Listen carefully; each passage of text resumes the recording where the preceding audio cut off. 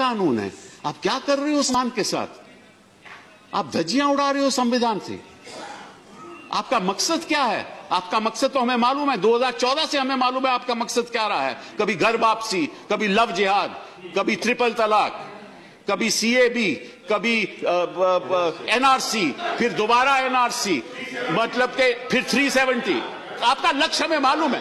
آپ کا لکش معلوم ہے آپ کا نظریہ بھی معلوم ہے۔ آپ نام سے کسی کے نام سے پتا کرنا چاہتے ہو اس گھر, اس, اس دیش میں وہ رہے گا یا نہیں رہے گا۔ آپ نے ایک بڑی آپتی جنک بات کی شروعات میں آپ نے کہا کہ وہ جو مسلمان یہاں ہیں ان کو ڈر کرنے کی ضرورت نہیں۔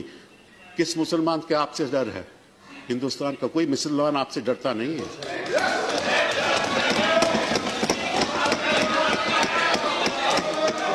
نہ میں ڈرتا ہوں نہ میں ڈرتا ہوں جا اس دیش کے ناگرک ڈرتے ہیں نہ کوئی مسلمان ڈرتا ہے۔ ڈرتے ہیں تو ہم سنویدھان سے ڈرتے ہیں۔